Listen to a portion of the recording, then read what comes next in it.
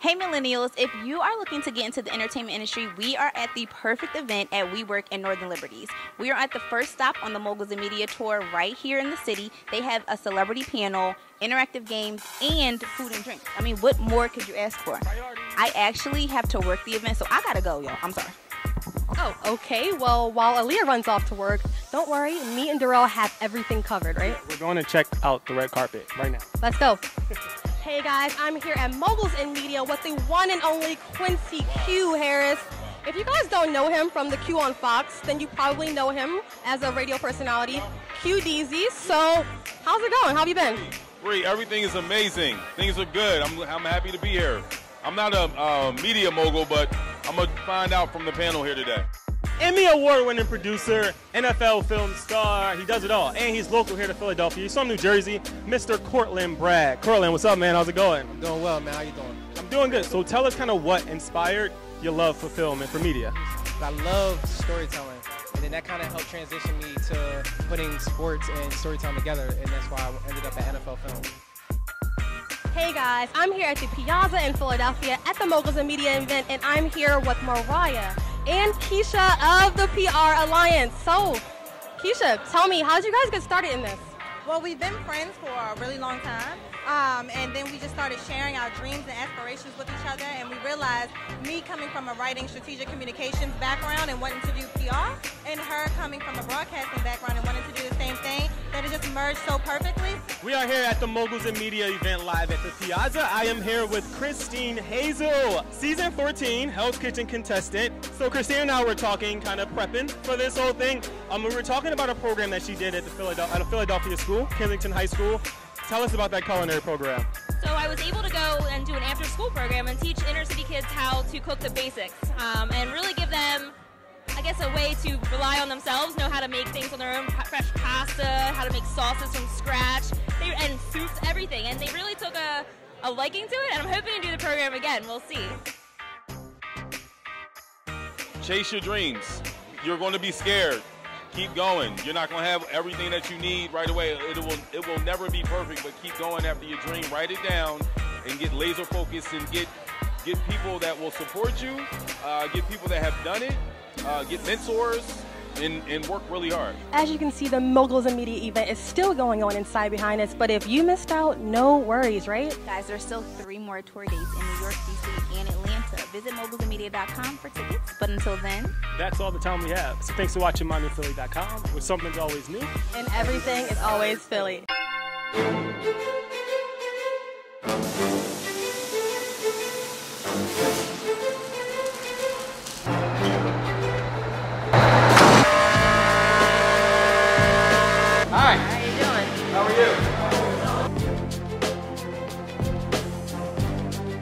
A. Philip Randolph Career and Technical High School is educating and training students for promising careers in welding, firefighting, construction, vending technology, dentistry, nursing, culinary arts, auto body, and auto mechanics.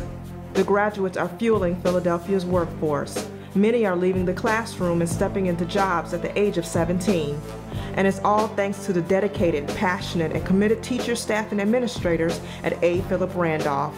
There are several other career and technical educational schools in the city, but this is the best. And I don't say that biasly, I'm just telling the truth.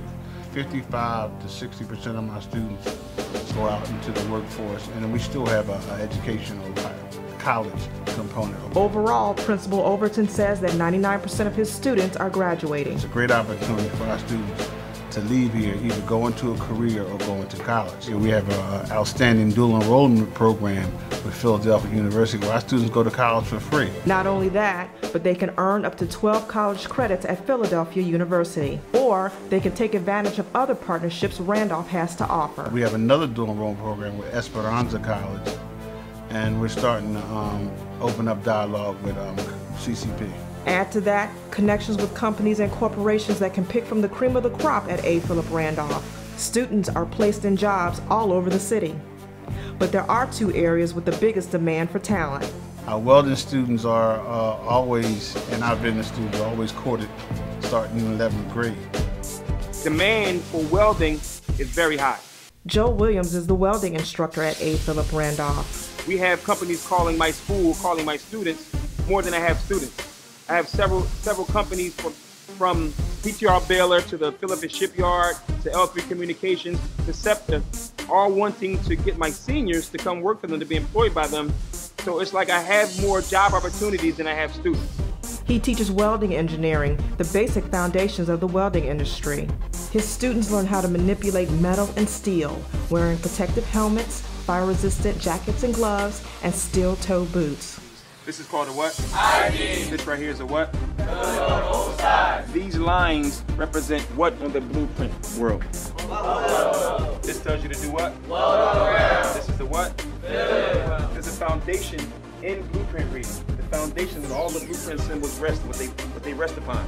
And Williams says his students must learn how to read blueprints. Welding is something that is a career. You have it for the rest of your life. You'll be able to implement these skills you learn here at Randolph and take them right into the workplace. I try to teach my students that they their goal, their objective is to be engineers. We need more engineers in the world. And knowing how to weld and read blueprints kind of set you off for being an engineer. Think about Randolph. This four-year program, these 1,120 hours that they get here is free. It's in the Philadelphia Public School System. So Randolph, A. Philip Randolph Career Technical High School, is a public school. So you can come here and learn all these trades for free and leave here without owing the college or the government $90,000 and have a high debt. So upon leaving here with certifications in the job, you're leaving here with no debt. A. Philip Randolph has special meaning for Williams because he's a graduate. I, I myself ran around the same building, the same desk, the same machine, the same blackboard. So it was kind of uh, eye-opening when I had the opportunity to come back and teach in the same classroom where I graduated from and give back to these young men.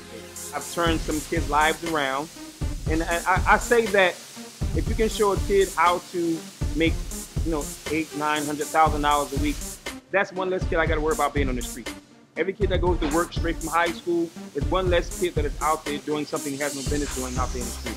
I'd like to pursue my career as a SEPTA welder when I graduate. The atmosphere in the school is very good. Everybody helps everybody. The teachers give you extra help inside and out of school, so you can make your way through the through grades. Students get hands-on training in the culinary arts and how to be chefs and short-order cooks. Here, come and take a look inside.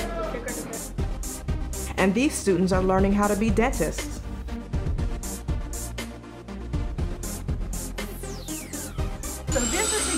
Exactly what would be occurring in the dental office with the dentist if the dentist were preparing the tooth for restoration.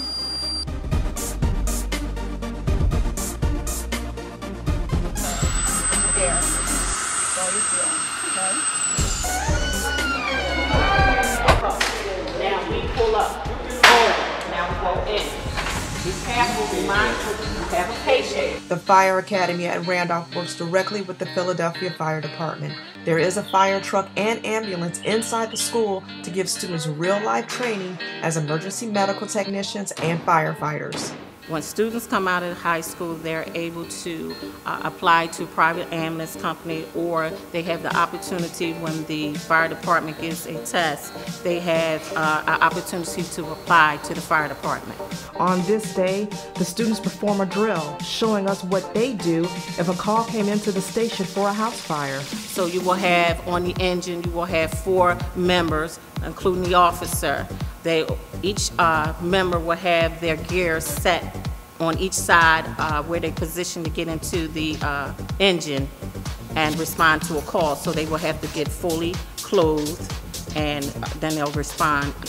They arrive on the scene and it's a fire. It's a, a working fire. Fire coming up out of the building windows. So then they'll jump off. Now the driver is going to be the pump operator. He's going to be the, the one to get the water to the guys. The other one, the officer, and the other two uh, members are, one is going to be on the tip and the other one is going to be a search and rescue. And what you did see, mocking was that it was a patient trapped inside, unconscious. So they uh, assessed the patient, put the patient on oxygen or whatever needed to be done, and then they brought the patient out. Then the EMTs were sitting, arriving. They had packaged the patient up, and they get in the back, and then reassess and continue assessing the patient, treatment, or whatever needs to be done until they take the patient back to the hospital. This program is awesome, awesome. It gives them real live uh, meaning. I mean, you get to assist and help patients, people in your community, rather it be family members or just be a total stranger, to, to have the knowledge to be able to, to help someone. I'm going to study to get my EMT 1 certification and my Fire 1 certification, and I'm going to become a paramedic. I like it a lot, and the shop just makes me want to come more and more every day and brings me back to class a lot, and it makes me uh, it makes me look forward to what we're going to learn for the next day.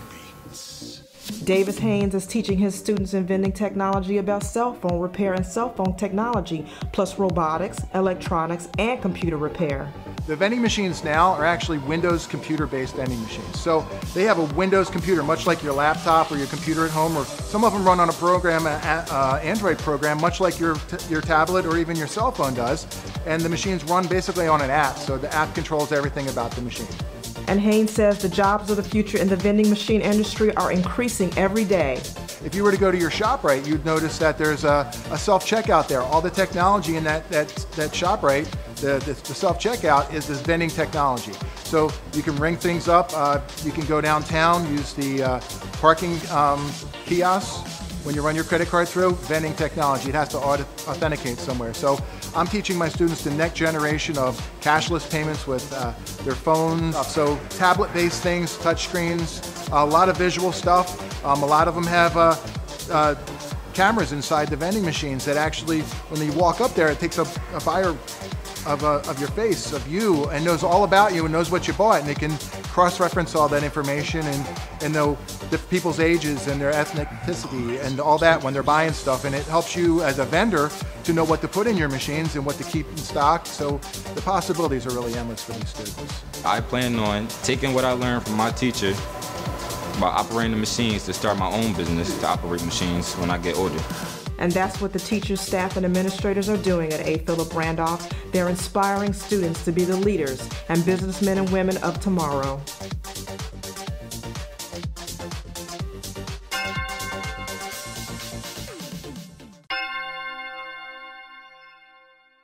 Welcome to Get Fit Philly, the show that helps you find the places to lose the pounds all around town. I'm your host, Amber Joy, and today I'm with registered dietitians Haley and Erica of MyVNutrition.com. I'm here, we're doing something new. Why? Because ads are made in the kitchen and we want to help you kick off 2017. So where do we start? Okay, so our first item is extra virgin olive oil. This is definitely a kitchen staple. Um, you definitely want to use extra virgin olive oil anytime that you're cooking, whether you're sauteing or you're roasting, uh, rather than butter or margarine. Um, it's loaded with omega-3s and it really does make a great base for also a salad dressing um, rather than any other type of dressing you may buy at the store. Next we have lemons. We love lemons. They're so versatile. You can use them in almost every dish. Citrus fruits provide that acidic flavor that helps to balance meals and also helps to tie in the natural flavors, enhance the natural flavors of foods. Instead of using salt, that has a lot of sodium and um, doesn't have any nutrients, use use the lemons in place. Awesome. Okay, up next, this is one of my favorite things. We have yogurt here. What kind of yogurt do we have? Okay, so this is a Greek yogurt, and this brand is called Siggi's. We swear by it. It's only made of four ingredients. Um, this container is only 100 calories, and it's 14 grams of protein. So Greek yogurt is really great as a breakfast item, as a snack on the go. Um, you can pair it with any type of fruit to add the fiber, any type of complex carb like dry cereal or granola, and really make a balanced meal out of it. Awesome. Up next, we have eggs, my favorite favorite. Yes, yes. Eggs are perfect for breakfast, but also for dinner. They make such a quick snack too as hard-boiled eggs. There are six grams of protein in one egg, and they're cheap, and who doesn't love cheap? So for 12 eggs, you can get them under $3. Here we have unsalted walnuts and pumpkin seeds. Um, nuts and seeds are great for any type of snack. Um, they're also great to add taste and texture to any dish. Um, they're loaded with omega-3s, which are great for brain fuel and cardiovascular health. Up next, last but not least. No, certainly not least are our greens. We always have greens in our fridge. Kale, romaine, spinach, but we love to put them in smoothies or as a base for your meal. And we also like to saute some with a little bit of olive oil and garlic in the beginning of the week. So we always have a, a healthy snack to grab or incorporate with the meal. Nice. So there you have it, six grocery items that everybody should have in their kitchen for 2017. Haley and Erica of MyVNutrition.com can really help you figure out the science. They can teach you the reasons why these are amazing products. So make sure you look them up online. That's all the time we have here today on MyNewPhilly.com where something's always new and, And everything is always always Philly. Philly. Hey guys, it's Yuval with Kite and Key, and today I'm taking you behind the scenes to check out Union Transfer's brand new sound system. We're gonna go have a meeting with them before we shoot next week. Let's go and take a look. It's so cold.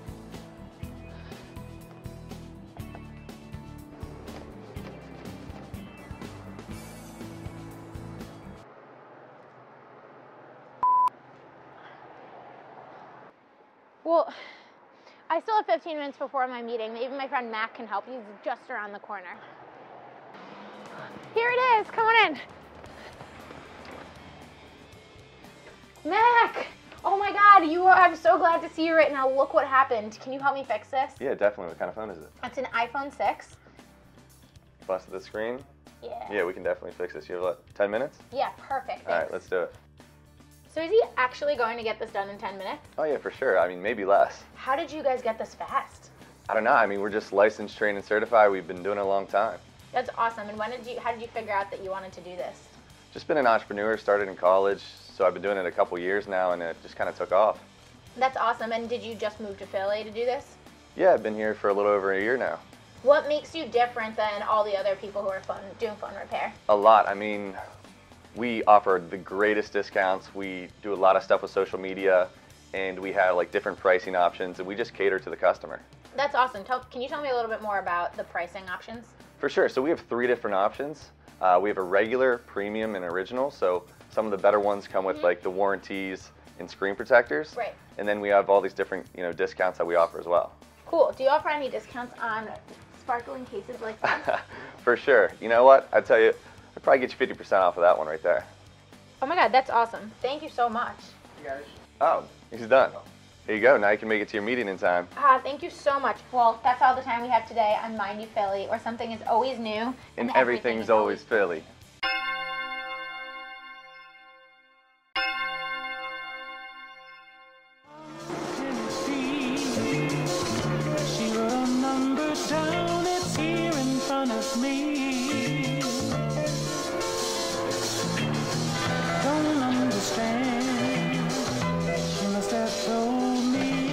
Welcome to the Gents Manual. My name is Ursula Stiles, and today I have with me Arrington from the Model Citizen, and I have my good friend James Crosby from Crosby & Co. And today we're going to be talking about the men's trends for spring summer 2017 and what's hot, what's dope, how can they rock it, how can they include it into their own personal style and their wardrobe. Mm-hmm. So what we're going to start out with is light wash denim. How are you guys feeling about this trend? Uh, well, me, I think a denim is always a piece that will be relevant through time, no matter what trend comes or You got goes. the dark, dark jeans, then goes light, and then Right. it cycles Then back. Now you got distressed. Yeah, denim, jeans, right. all kind of stuff. So I think it's a, it's a piece that's always going to be relevant. It's always going to make the top 10 trend list. If that makes true. sense. That's a good point. All right. Next up, we have jackets around the waist. Now, I'm kind of half and half with this. I, I loved it during that grunge period, you know, that Kurt Cobain Right. teen spirit situation. Right. It, it really rocked out well there. I think it's more of a lifestyle trend. Like, for example, rock, Okay. rockers, I'm not rockers, uh, what you call them, skateboard. Yes. People, Right. that lifestyle hippie. Yes. in- What's in the that point? You wear it? Are you cold, or are you just wear it? you you have it in case you need it? All right. Next up, we have yellow. Now, we have plenty to say about this. I guess it's in. I'm rocking the yellow. Yeah, so talk about talk about uh, Crosby, how you're So rocking your yellow. Yeah, I mean these are bold. I don't think anybody could just wear a, a yellow rain jacket, but uh, you can accessorize. Wear a shirt, wear a tie, you know, a yellow tie with a black suit. And you're doing it kind of in a muted Right, kind so of feel. I think it works for a color that's able to transition from feminine and masculine. It's like Yes. a happy medium, unlike pink or lavender. And I like that. agree. So this one is huge. Why? Because this is all that everyone is talking about Yep. um, in the current fashion weeks that's happening for fall and winter 2017. And that is the Supreme and Vuitton collaboration. Some of the pieces are just beyond dope. Um, everything from a phone case that they have coming out with the Supreme and Vuitton logo on it to the trunk. Any any pieces that's a favorite of I yours? love the glasses, the Yeah. sunglasses. Yeah, the glasses Dope. are Well, think about What separates, you know, an ordinary thing like sunglasses or phone case? What makes it luxury? It's just branding. You know, now it's high end. Right. That's a good But I think it matched well, and I think it's going to go Right. far also. I like them. I like the suitcases. Yes. Yeah. Yes. Amazing. That duffel bag, too. Whew. Yes. Thank you for watching mynewphilly.com with something is always new and, And everything, everything is, is always always Philly. Philly. Guys, welcome to the fitting room where trend, style, and fashion in Philly are always our focus. I'm your host, Am Rakini, and I'm here with Sola, my absolute favorite street style photographer in all of Philadelphia. and we're here to tell you about street style, what it is, and how you can go from like eh a camera ready. So tell us, what is street style exactly? So street style is a type of fashion that is inspired by contemporary and urban living. So when I go out with my camera trying to look for kind of the perfect street style candidate, I'm looking for someone who embodies both urban and contemporary. So it's someone who is not just leaving the house in like name brand things and like something that's like relatively plain. I'm looking for someone who is like confident in what they're wearing and kind of ready to hit the streets with something cool on. Okay, so what we're wearing right now, it's not horrible, but it's a little basic, and I think we can do better. I think we can do a lot better. So where do you think would be a good place to start? Okay, the best place to start is with details. And one of the best details that you can use to elevate your style, to make it more street style, is all about the shoes. Okay, so some statement shoes maybe? Yes, statement shoes. Statement shoes, a lot of people think that statement shoes are just heels. That's not always the case.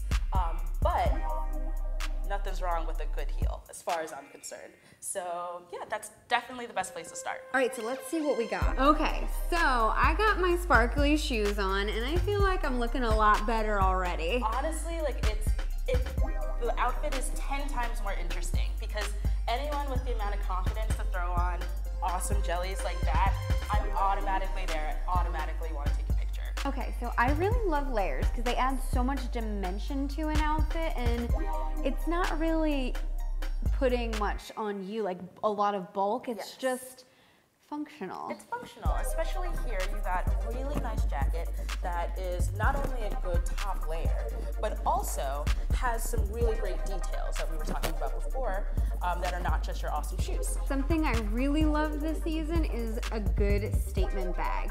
The way that you wear it is it's almost like a piece of jewelry, but it's not. It's a bag you can put stuff in. And see, we really completed this look without the use of jewelry. Neckties, really good investment. They seriously cost like a dollar or less.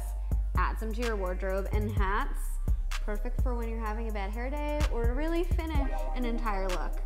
Hats are the perfect, like, even if you had kind of what we started off wearing, you add a hat to it, it's automatically elevated. Not a lot of people think that they're hat people, but it turns out that everyone's a hat person. So make sure you give that a try. Um, like I don't know if you we could get a hat on you right now. Um, you know, if I try really hard try, and believe in myself, I think I might be able to throw that on. But it is something that I usually do. I throw, kind of throw my afro back, put a hat on, it works. Um, this purse, like you mentioned before about the jewelry, find something with a little bit more pop. So when you're wearing all black or neutrals, it really sticks out. That's about all the time we have today for My New Philly, where something is always new and everything, is, always Philly.